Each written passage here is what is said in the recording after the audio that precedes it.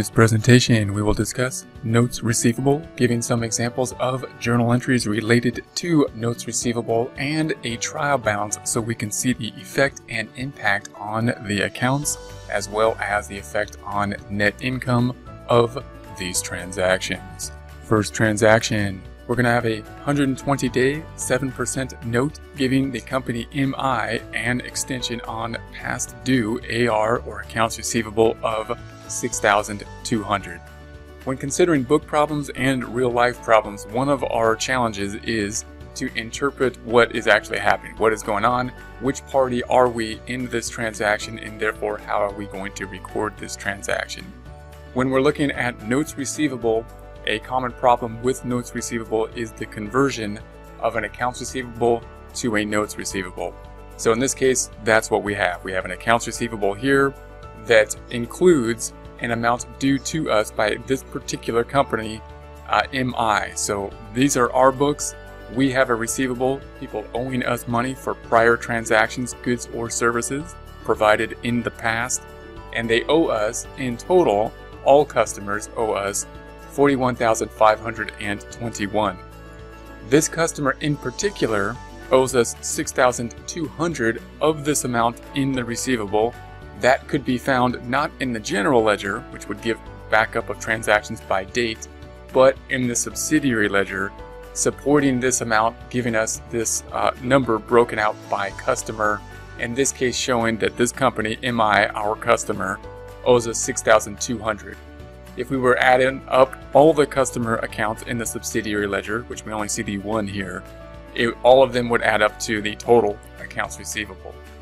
Now the accounts receivable represents sales that are made that are typically due in say 30 days, uh, and a note receivable, on the other hand, typically has a longer time period, uh, interest rate involved, often has a higher dollar amount, and therefore uh, interest will be charged and want to have that in writing. So in this case, we're going to say, okay, it was in accounts receivable, but now we're going to give an extension, and because of the extension and the days being greater than, say, 30 days, we don't want to track it in accounts receivable and in the subsidiary ledger, but create another account and track it in a note receivable and then charge interest on it. So we can imagine a formal document being made here for a note receivable and we then now having to record this. So to record this, note we don't we don't really need to know the 7% or the 120. All we need to know at this point in time is that it was in accounts receivable and we're transferring it to notes receivable. So accounts receivable has a debit balance, we need to make it to go down. So we're going to do the opposite thing to it, which is a credit, decrease in the receivable. And then we'll put it into notes receivable which is another asset account, very similar to accounts receivable, and we, it has a debit balance, and it's going to go up by doing the same thing, another debit. Now note here that we're recording the note receivable, a different note receivable for each customer. So in other words, the accounts receivable we're tracking in one account here, supporting that account with a subsidiary ledger, which then will track each customer that owes us the money. With the notes receivable in this uh, example, we have a different note receivable for each note outstanding, and we'll track the amount owed, the principal amount owed here, as well as supporting documentation to be able to track the principal and interest that is owed. It is possible, however, for us to track this with just one account on the trial balance as well, and then have supporting documentation in a similar way as the subsidiary ledger for the notes receivable which would calculate both the notes receivable due to us and the interest that would be due on those notes receivable. I kind of like to see it if we don't have too many notes receivable in this format so that we can check each note receivable. When we make the financial statements, then of course, we're not going to list out a bunch of different notes receivable with different customer names. We're just going to put it together in one account called notes receivable. If we record this out then, we can see the accounts receivable started at 41,521. It's going to go down by this 6,200. We're recording this accounts receivable, making it go down to 35,321. 41,521 minus the credit 6,200, giving us the 35,321. Notice here we're representing the debits with non-bracketed numbers, the credits with bracketed numbers, And therefore, if we do sum this up, debits minus the credits equals zero, debits minus the credits equaling zero, meaning debits equal the credits and we are in balance. Net income is calculated as the revenue uh, minus the expenses. We don't have, we're not showing any right here because we're simplifying the, the chart of accounts. So all we have are revenue accounts, revenue, interest, revenue, and a gain here to get to the revenue, not a loss, revenue or net income, 38,245. The second component, notes receivable, started at zero. It's now going to go up in the debit direction by 6,200 to 6,200. We also need to track this account. This gives us total accounts receivable owed to us by all customers. We're going to track the activity in the subsidiary ledger for MI Company, a particular customer who owed us 6,200. We credit this same credit here, similar to as we would do for the general ledger, but now breaking it out by customer, saying that they no longer owe us any money.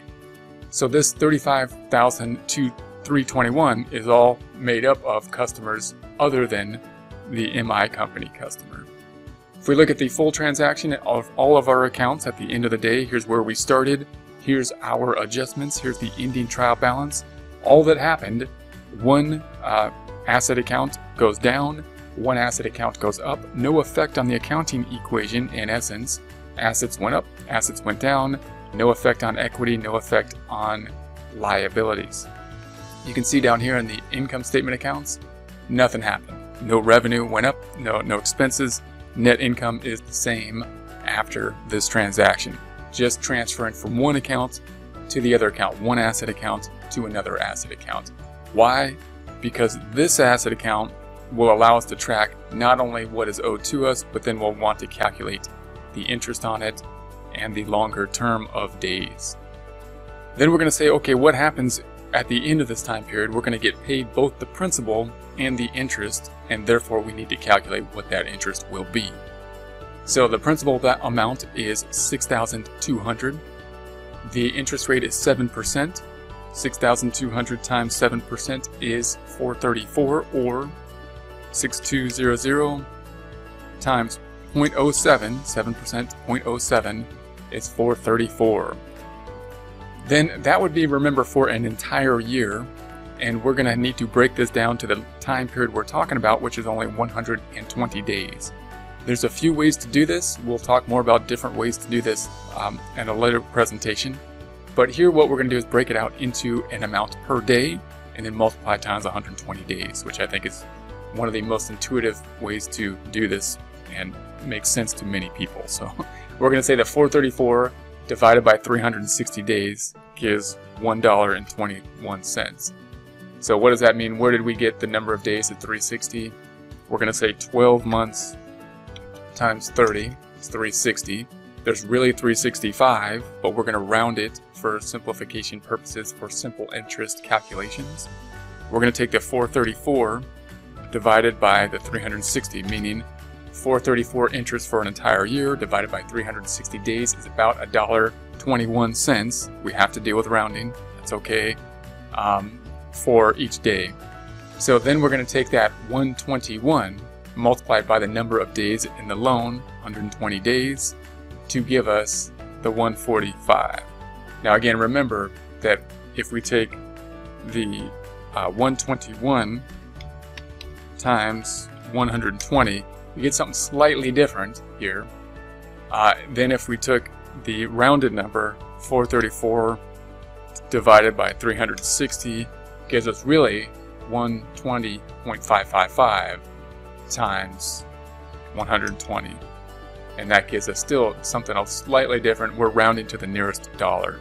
So just be careful of rounding. It's always going to be an issue. Even if we go to the penny it's still going to have rounding issues because we're off by you know less than a penny. So always going to be an issue, and we'll have to deal with it no matter how we structure the, the information. Uh, so here we go.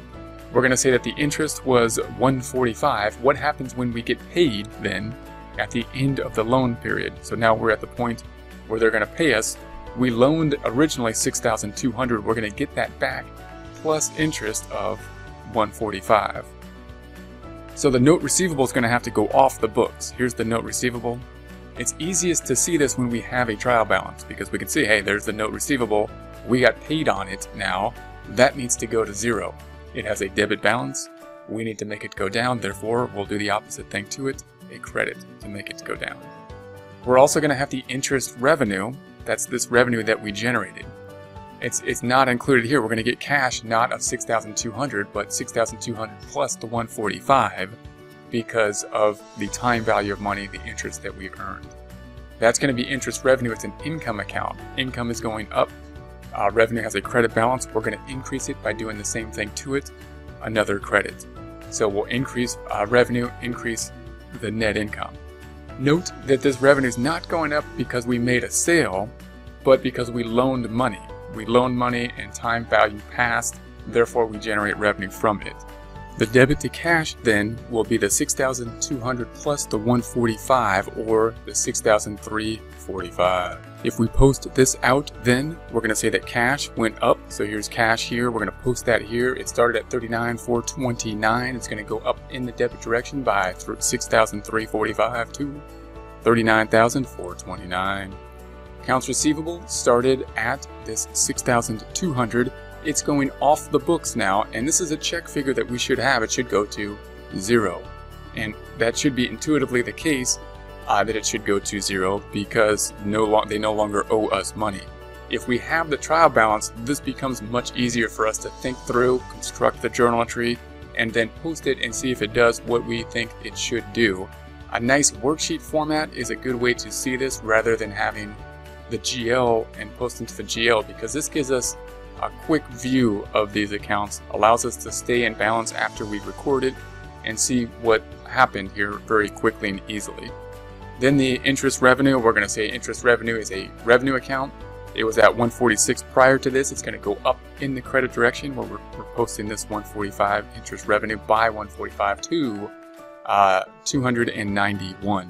If we take a look at all the accounts, then we can see that the cash is going to end up here. We got the notes receivable is down, and the effect on net income then is going up by that 145. We're, we're recording this entire 145 at the point in time we received the cash because we earned revenue not at that point in time, but throughout the time period, throughout the 120 days. So instead of uh, us recording the revenue that we're earning for loaning money out for the interest, each day as it accumulates.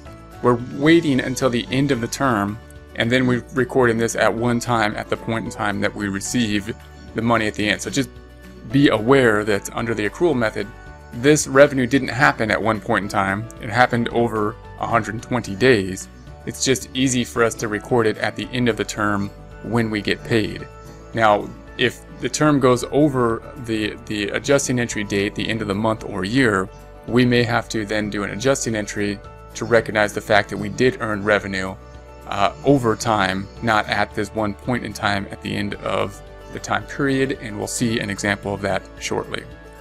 What would happen if at the end of the time period they dishonored the note, we didn't get paid? We'd have a similar journal entry, but of course we wouldn't get cash then. We're saying they didn't they didn't pay us.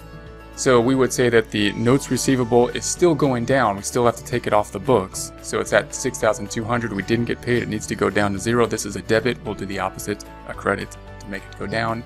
We're still going to earn the interest revenue. It's not like we didn't earn the money even though we haven't gotten paid on it.